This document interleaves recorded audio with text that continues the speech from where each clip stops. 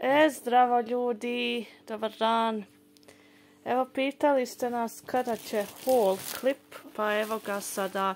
Možda će biti malo, ali eto. Nije, mam, evo ovo je već za nas. Rezani onaj najbolji, jel te? To je za nas. Impek, jel? Nije mer merkato neki pšenični. Dobro. Ovo je babi. Zvijezde, one su isto najbolji. Jesu, pogam.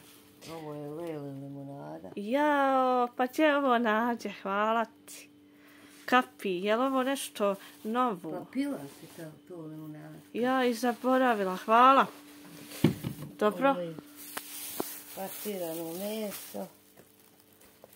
kupili ga za svaki slučaj, pošto je potrebno. Ovo su filati. Eto. Jer danas će nam na meni ubiti ovo ako Bog. Jest. Eto. I to je to, pa eto, malo, malo. Pa Kratki malo, ali je bogato. Ja. Malo, ali bogato. Mhm. Kupila se mesa i